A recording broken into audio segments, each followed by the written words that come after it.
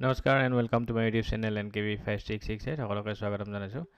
আজিৰ ভিডিঅ'টিত আলোচনাৰ বিষয়বস্তু হৈছে ইউডাইচ প্লাছত আপোনালোকে বিদ্যালয়খনৰ তথ্যসমূহ কেনেকৈ এণ্ট্ৰি কৰিব সেই বিষয়ে আলোচনা কৰাৰ লগতে যিবিলাক বিদ্যালয় ইতিমধ্যে একত্ৰীকৰণ হৈ গৈছে এমালগামেশ্যন হৈ গৈছে সেই বিদ্যালয়সমূহৰ টিচাৰসমূহৰ তথ্যসমূহ কেনেকৈ এখন বিদ্যালয়ৰ পৰা আন এখন বিদ্যালয়লৈ ট্ৰেন্সফাৰ কৰা হ'ব লগতে এজন টিচাৰ যদি ক'ৰবাৰ পৰা কোনোবা এখন বিদ্যালয়ৰ পৰা যদি ট্ৰেন্সফাৰ হৈ আহিছে তেতিয়াহ'লে তেওঁৰ তথ্যসমূহ কেনেকৈ সেই বিদ্যালয়খনৰ পৰা বৰ্তমান তেওঁৰ কৰ্মৰত বিদ্যালয়ত ট্ৰেন্সফাৰ কৰিব পৰা ব্যৱস্থাটো কেনেকৈ হ'ব গতিকে সেই কথাখিনি আলোচনা কৰিবৰ কাৰণে আজিৰ এই ভিডিঅ'টি প্ৰস্তুত কৰিবলৈ আছে আৰু ইতিমধ্যে যিহেতুকে মই আগতেও এটা ভিডিঅ' বনাইছিলোঁ ইউডাইছ প্লাছ এছ প্লাছৰ ওপৰত কেনেকৈ ডাটা এণ্ট্ৰি কৰিব লাগে আগৰ ভিডিঅ'টো মই ডেছক্ৰিপশ্যন বক্সৰ লিংকটো দি দিম আপোনালোকে গৈ যদি চাব বিচাৰে। তো সেইটো ভিডিঅ'টো চাব পাৰিব। তো মই ভিডিঅ'টি আৰম্ভ কৰাৰ আগতে মই আপোনালোকক প্ৰথমতে অনুৰোধ জনাম যাতে এনেকুৱা ইনফৰ্মেটিভ ভিডিঅ'সমূহ পাই থাকিবৰ কাৰণে মোৰ YouTube channel N K B five six six eight আপোনালোকে ছাবস্ক্ৰাইব কৰক লগতে ভিডিঅ'সমূহ শ্বেয়াৰ কৰিব আৰু ভিডিঅ'টো চাই কেনেকুৱা পালে কমেণ্ট কৰি জনাবলৈ নাপাহৰিব। গতিকে এতিয়া ভিডিঅ'টো আৰম্ভ কৰিছোঁ। আপোনালোকে জানে যে ইউডাইচ প্লাছত আপোনালোকে ডাটা এণ্ট্ৰি কৰিবলৈ হ'লে প্ৰথমতে যিকোনো ব্ৰাউজাৰত গৈ পেলাই UDISE plus gov dot in আপোনালোকে টাইপ কৰিব লাগিব। তাৰপিছত আপোনালোকে log in for all modules দেখিবলৈ পাব। তো log in for school directory user মেনেজমেণ্টত গৈ পেলাই আপোনালোকৰ যিখিনি basic information email I D mobile number cluster আপোনাৰ লোকেশ্যন অফ দি স্কুল এইখিনি আপোনালোকে ইয়াতে যদি কিবা চেঞ্জ কৰিবলগা আছে ইয়াতে গৈ লগ ইনত গৈ চেঞ্জ কৰিব পাৰিব। ইয়াৰ পিছত আপোনালোকে স্কুল প্ৰফাইলত এণ্ড ফেচিলিটিজত গৈ পেলাই আপোনালোকৰ স্কুল প্ৰফাইল এণ্ড ফেচিলিটিজৰ যিখিনি তথ্য আছে সেইখিনি ইয়াতে এণ্ট্ৰি কৰিব লাগিব। তাৰ কাৰণে আপোনালোকে লগ ইন কৰিবলৈ আপোনালোকে জানে যে লগ ইন আই ডি আপোনালোকৰ স্কুল কোড আৰু যিটো পাছৱৰ্ড আছে আপোনালোকে সেই পাছৱৰ্ডটো টাইপ কৰিব। তাৰপিছত যিটো কেপচা আছে কেপচাটো টাইপ কৰিব। তাৰপিছত আপোনালোকে লগ ইনত ক্লিক কৰিব। লগ ইনত ক্লিক কৰাৰ পিছত আপোনালোকে প্ৰফাইল এণ্ড ফেচিলিটিজত ক্লিক কৰিলে। ইয়াৰ পিছত আপোনালোকে ওৱান বাই ওৱান যিখিনি আপোনালোকৰ তথ্য দিব লগা আছে সেইখিনি ইয়াতে এণ্ট্ৰি কৰিব লাগিব। ইয়াতে আপোনালোকে দেখিছে আপোনালোকৰ যিখিনি তথ্য দিব লগা আছে সেইখিনি ওৱান বাই ওৱান পঢ়ি চাব ইয়াতে। সেইখিনি ইয়াতে আপোনালোকৰ বেচিক ইনফৰ্মেশ্যন যিখিনি আপোনালোকে প্ৰতি বছৰে কৰি আহিছে ইয়াৰ ওপৰত মই বেছি বিশেষ দীঘলীয়া কৰিবলৈ নাযাওঁ। আপোনালোকে জাষ্ট পঢ়ি পেলাই ইয়াতে ডাটাখিনি এণ্ট্ৰি কৰিব। বেচিকেলি আপোনালোকে গুৰুত্ব দিব যিখিনি তথ্য দিয়ে সেইখিনি যাতে শুদ্ধ হয়। আৰু প্ৰতিটো পইণ্টে আপোনালোকে নিজে পঢ়ি চাব এনে স্কিপ কৰি নাযাব ত' ওৱান বাই ওৱান আপোনালোকে ইয়াতে নেক্সট নেক্সট নেক্সট কৰি গ'লে আপোনাৰ দেখিব কি কি তথ্য ভৰাব লাগে। স্কুলৰ যিখিনি গ্ৰাণ্ট আছে সেইখিনিৰ বিষয়ে ইয়াতে ডিটেইলছত আছে কি কি গ্ৰাণ্ট পাইছে স্কুলে কম্প'জিট গ্ৰাণ্ট লাইব্ৰেৰী গ্ৰাণ্ট গতিকে আপোনালোকে চাই ল'ব। ত' আজি বেচিকেলি যিখিনি কথা আপোনালোকৰ আলোচনা কৰিবৰ কাৰণে ভিডিঅ'টি বনোৱা হৈছে সেই ভিডিঅ'টি হৈছে টিচাৰ মডিউলৰ বিষয়ে। গতিকে মই টিচাৰ মডিউলৰ যাব বিচাৰিছোঁ। তো ফাৰ্ষ্ট অফ অল আপোনালোকে যেতিয়া টিচাৰ ৰিলেটেড ইনফৰ্মেশ্যনখিনি আপোনালোকে এণ্ট্ৰি কৰিব বা এণ্ট্ৰি কৰিব যাব বা ট্ৰেন্সফাৰ কৰিবলৈ যাব তাৰ কাৰণে আপোনালোকে টিচাৰ মডিউলত আপোনালোকে লগ ইন কৰিব লাগিব। টিচাৰ মডিউলত লগ ইন কৰিবৰ কাৰণে আপোনালোকে ইয়াতে যিটো ইউজাৰ আই ডি আছে পাছৱৰ্ড আপোনালোকে টাইপ কৰিব। তাৰপিছত যিটো কেপচা আছে কেপচা টাইপ কৰিব। কেপচা টাইপ কৰাৰ পিছত জাষ্ট আপোনালোকে লগ ইনত ক্লিক কৰিলে হ'ল। তো লগ ইনত ক্লিক কৰাৰ পিছত আপোনালোকে click here to open teachers D C F to fill up the data তো ইয়াত ক্লিক কৰিলে ইয়াতে ক্লিক কৰাৰ পিছত আপোনালোকে দেখিব টিচাৰৰ যিখিনি নাম্বাৰ আছে ইয়াতে নাম্বাৰটো শ্ব' কৰিব। তো প্ৰথমতে যিহেতুকে এখন বিদ্যালয়ৰ পৰা এজন টিচাৰ ট্ৰেন্সফাৰ হৈ গৈছে বা কি হৈছে এইখিনি যোৱাৰ আগত আমি প্ৰথমতে টিচাৰৰ যিটো ইয়াতে নাম্বাৰ আছে টোটেল নাম্বাৰ ইয়াতে ক্লিক কৰিলোঁ। তো ইয়াতে ক্লিক কৰাৰ পিছত আমি ওৱান বাই ওৱান টিচাৰখিনি চেক কৰিম জেনেৰেল প্ৰফাইলত গ'লোঁ। গৈ পেলাই যিখিনি তথ্য ইতিমধ্যে এইখিনি এণ্ট্ৰি হৈ থাকিব সেইখিনি আপোনালোকে চেক কৰিব। লগতে আধাৰ যদি ভেলিডেট কৰা নাই তো আধাৰ নাম্বাৰটো ইয়াতে টাইপ কৰিব। আধাৰ নাম্বাৰটো টাইপ কৰি পেলাই ইয়াতে আধাৰ যিটো নেম আছে সেই আধাৰ কাৰ্ডত যিটো নেম আছে সেই নেমটো ইয়াতে টাইপ কৰি দিব। তাৰপিছত আপোনালোকে এইটো আপডেট কৰি দিব। তাৰপিছত ডাটা এণ্ট্ৰিখিনি ইয়াতে কৰিব। এনেকৈ তিনিটা পেজ ওলাব। তাৰপিছত লাষ্টত আপোনালোকে ইয়াতে লাষ্ট পেজত এইখিনি ইনফৰ্মেশ্যনখিনি আপুনি দিব লাগিব। আপোনালোকে পঢ়ি চাব। অলৰেডি আপোনালোকে কেইবাবাৰো কৰিছে গতিকে এইখিনিৰ ওপৰত মই বেছি ডিটেইলছত যাব বিচৰা নাই। ইয়াৰ পিছত যেতিয়া আপোনালোকে আধাৰ নাম্বাৰটো ভৰাইছে বা ভৰাব বা ভৰোৱাৰ পিছত আপোনালোকে ইয়াতে ভেলিডেট অপশ্যন এটা আহি ইয়াতে ৰঙা হৈ থাকিব। ইয়াতে ক্লিক কৰি দিব। ক্লিক কৰি দিয়াৰ লগে লগে যদি আপোনালোকৰ আধাৰ নাম্বাৰ আৰু আধাৰ লগত আপোনালোকৰ যিটো নেম আছে সেই নেমটো মেটচ হয়। লগতে ডেট অফ বাৰ্থ যেতিয়া মেটচ হ'ব তেতিয়া আপোনালোকৰ এইটো গ্ৰীণ কালাৰ হৈ যাব। এইটো ছাকচেছফুল হ'ব আধাৰ ভেলিডেশ্যনটো কমপ্লিট হৈ যাব। তো এইখিনি হ'ল ওৱান বাই ওৱান টিচাৰৰ চেক কৰি পেলাই আপোনালোকে তথ্যখিনি ইয়াতে ভৰাব। আৰু এটা ইম্পৰ্টেণ্ট কথা আপোনালোকক জনাই থৈ দিওঁ যে যদিহে আপোনালোকৰ ছাপ'জ ইউডাইছত যিটো নাম আছে নামটো ভুল হৈ আছে তো নামটো ইয়াতে আপোনালোকে দেখিছে। এই নামটো শুধৰণি কৰা এটা অপশ্যন নাই। আপোনালোকে এডিট কৰিব নোৱাৰে। নিজৰ নামটো ইয়াতে শুধৰণি কৰিব নোৱাৰে। কিন্তু যদি কিবা কাৰণত যদি নামটো ভুল হৈ আছে তাৰ কাৰণে আপোনালোকে কি কৰিব? তো তাৰ কাৰণে এটাই অপশ্যন আছে। আপোনালোকে থ্ৰু ব্লক আপোনালোকে ডিষ্ট্ৰিক্টত জনাব লাগিব যে আপোনাৰ নামটো ভুল হৈ আছে আৰু নামটো কাৰেকশ্যনৰ ব্যৱস্থা আপোনালোকে কৰিবলৈ হ'লে ডিষ্ট্ৰিক্টত জনাব লাগিব আৰু এইটো আৰু এইটো ডিষ্ট্ৰিক্ট লেভেলতে কৰিব পৰা সম্ভৱ। গতিকে আপোনালোকৰ যদি নামটো ভুল হৈ আছে ইউডাইছত তেতিয়াহ'লে আপোনালোকে immediately through block M I এছৰ জৰিয়তে আপোনালোকে ডিষ্ট্ৰিক্ট প্ৰগ্ৰামাৰক আপোনালোকে সোনকালে জনাই দিয়ক যাতে আপোনালোকৰ নামটো শুদ্ধ কৰি দিয়ে। এতিয়া ছাপ'জ এজন টিচাৰ ইয়াৰ পৰা ট্ৰেন্সফাৰ হৈ গ'ল তো তাৰ কাৰণে আপোনালোকে কি কৰিব লাগিব? তাৰ কাৰণে প্ৰথমতে আপোনালোকে যিজন টিচাৰ ট্ৰেন্সফাৰ হৈ গ'ল সেই টিচাৰজনৰ ইয়াতে লেফ্ট স্কুল বাটন আছে এই লেফ্ট স্কুল বাটনত ক্লিক কৰিব লাগিব। ত' সেই প্ৰচেছটো মই এতিয়া জনাওঁ আপোনালোকক। কেনেকৈ কৰিব লাগিব। এখন বিদ্যালয়ৰ পৰা তেওঁ ছাপ'জ ট্ৰেন্সফাৰ হৈ গ'ল ত' ট্ৰেন্সফাৰ হৈ যোৱাৰ পিছত তেওঁৰ তথ্যসমূহ এইখন বিদ্যালয়ৰ পৰা তেওঁ ট্ৰেন্সফাৰ কৰি দিব লাগিব। তাৰ কাৰণে লেফ্ট স্কুল বাটনত ক্লিক কৰিব লাগিব। লেফ্ট স্কুল বাটনত ক্লিক কৰি পেলাই ইয়াতে তেওঁৰ ইনফৰ্মেশ্যনখিনি আহি যাব। তাৰপিছত চিলেক্ট ৰিজন যিকোনো এটা ৰিজন চিলেক্ট কৰিব লাগিব ইয়াতে। ইয়াতে চাৰিটা ৰিজন আছে ডিউ টু ৰিটায়াৰমেণ্ট হয়তো তেওঁৰ ৰিটায়াৰমেণ্টৰ কাৰণে স্কুলখনৰ পৰা লেফ্ট হ'ব। আদাৰৱাইজ ছেকেণ্ড অপশ্যন আছে transferred oblique shifted to another school next আছে ডিউ টু জব লেফ্ট আৰু থাৰ্ড ওৱান আছে ডিউ টু ডেথ এই চাৰিটাৰ ভিতৰত যিকোনো এটা অপশ্যন হ'ব। তাৰপিছত ৰিমাৰ্কছত আপোনালোকে ৰিমাৰ্কছ ইয়াতে আপোনালোকৰ লিখিব পাৰিব। তাৰপিছত লেফ্ট স্কুলত ক্লিক কৰি পেলাই জাষ্ট কনফাৰ্ম কৰি দিলে সেই বিদ্যালয়খনৰ পৰা সেই টিচাৰজন লেফ্ট হৈ যাব। এতিয়া নেক্সট আমি কি কৰিব লাগিব? সেই টিচাৰজন যিখন বিদ্যালয়লৈ তেওঁ ট্ৰেন্সফাৰ হৈ গ'ল তো সেইখন বিদ্যালয়ত তেওঁৰ ডাইচখন খুলিব লাগিব। তাৰপিছত তাৰ পৰা ইম্পৰ্ট কৰিব লাগিব। গতিকে এই প্ৰচেছটো মই আপোনালোকক ওৱান বাই ওৱান দেখাম।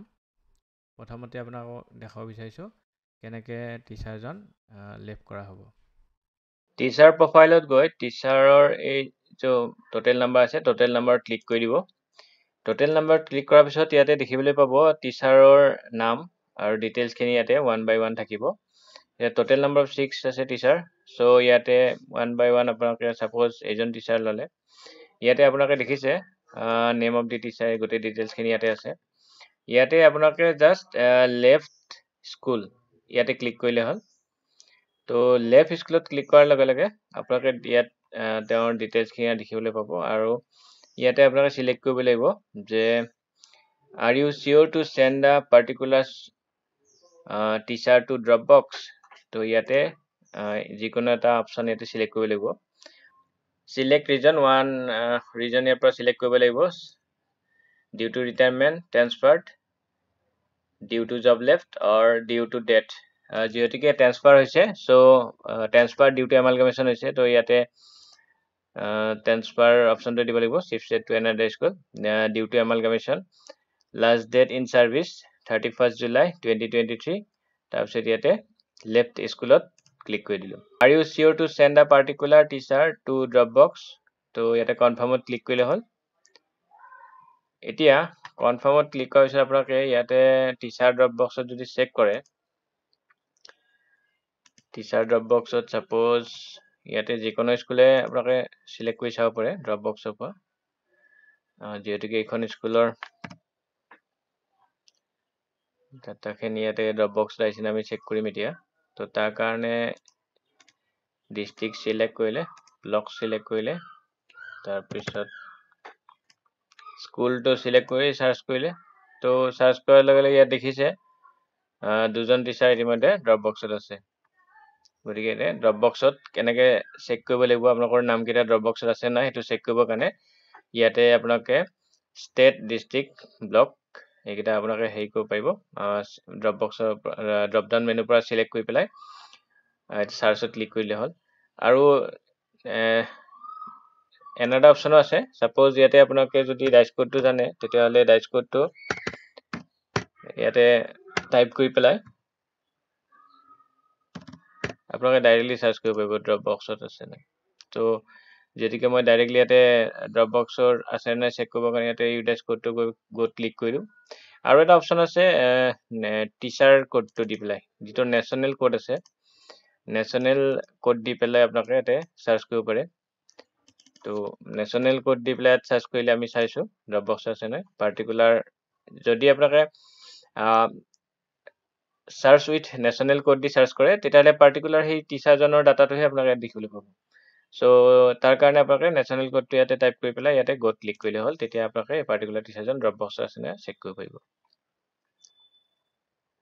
তো ওৱান বাই ওৱান আমি তেনেকৈ টিচাৰৰ যিখিনি টিচাৰ আছে অলৰেডি এইখিনি আমি এমালগামেট হোৱা স্কুললৈ আমি ট্ৰেন্সফাৰ কৰি দিব পাৰোঁ। চ' আগৰ টিচাৰজনৰ দৰে এতিয়া আমি নেক্সট টিচাৰসমূহকো আমি তেনেকৈ ওৱান বাই ওৱান আমি ইয়াতে ড্ৰপ বক্সত চেণ্ড কৰিব লাগিব। ৰিমাৰ্কছ দিলোঁ ডিউ টু এমালগামেশ্যন আৰু যিহেতুকে ডেটটো থাৰ্টি ফাৰ্ষ্ট জুলাই তো কেলেণ্ডাৰৰ পৰা directly thirty first July select কৰিলে। তাৰপিছত সেই টিচাৰজনৰ ডাটাটো ড্ৰপ বক্সত নিবৰ কাৰণে লেফ্ট স্কুলত ক্লিক কৰিলে তাৰপিছত লেফ্ট স্কুলত ক্লিক কৰাৰ পিছত কনফাৰ্মত ক্লিক কৰিলে হ'ল। তো অট'মেটিকেলি ড্ৰপ বক্সলৈ গুচি যাব। তো তেনেকৈ বাকী শিক্ষকখিনিও ইয়াতে ড্ৰপ বক্সত দিলে হ'ল। লেফ্ট স্কুল কনফাৰ্ম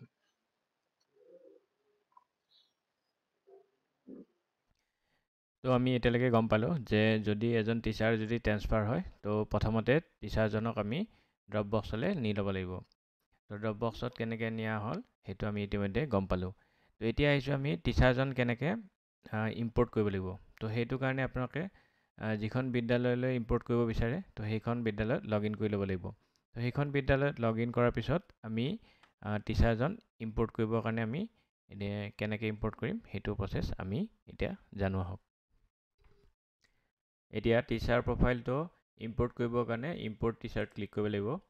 তো ইম্পৰ্ট টিচাৰত নেশ্যনেল কোড ইয়াতে টাইপ কৰিব লাগিব আৰু নেশ্যনেল কোডটো পাবৰ কাৰণে গেট নেশ্যনেল কোডত ক্লিক কৰিলে হ'ল আধাৰ নাম্বাৰ আৰু যিটো ডেট অফ বাৰ্থ আছে সেই ডেট অফ বাৰ্থটো ইয়াতে দিলে চাৰ্চত ক্লিক কৰাৰ পিছত নেশ্যনেল কোডটো পাই যাব। আৰু নহ'লে আৰু এটা অপশ্যন আছে স্কুলখনৰ ইয়াতে ড্ৰপ বক্সত চেক কৰিব লাগিব। যিখন স্কুলৰ ডাটাটো ইতিমধ্যে ড্ৰপ বক্সত পেলোৱা হৈছে তাৰ স্কুল কোডটো ইয়াতে টাইপ কৰি আপোনালোকে চাব পাৰে। নহ'লে আপোনালোকে ষ্টেট ডিষ্ট্ৰিক্ট ব্লক আৰু যিটো ইয়াতে স্কুল নেম আছে স্কুল নেমটো ইয়াত টাইপ কৰি পেলাই ইয়াত চাৰ্চ কৰিব পাৰিব। আমি ইয়াতে স্কুল কোডটো দি পেলাই চাৰ্চ কৰিছোঁ।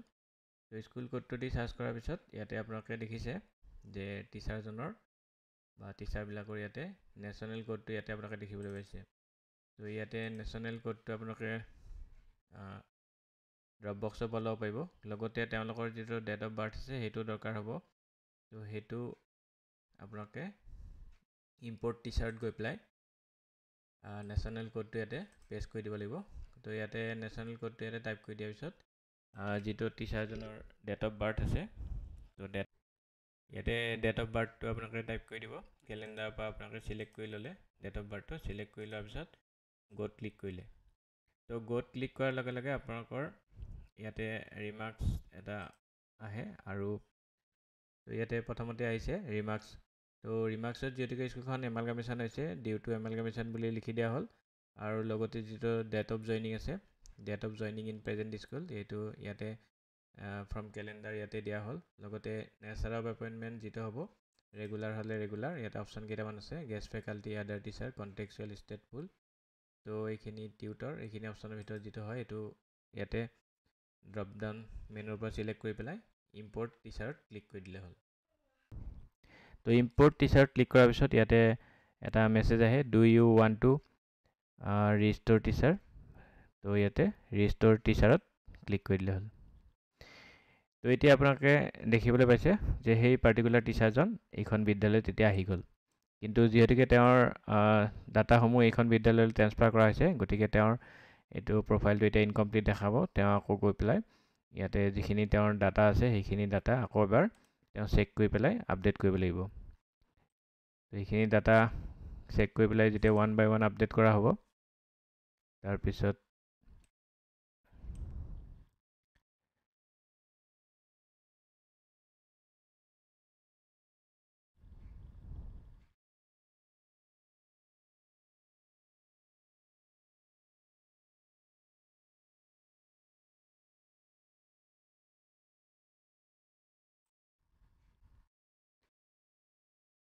তাৰ প্ৰফাইলটো যেতিয়া আপডেট কৰা হ'ব নেক্সট ইয়াতে লাষ্ট আপডেটত ক্লিক কৰিলে।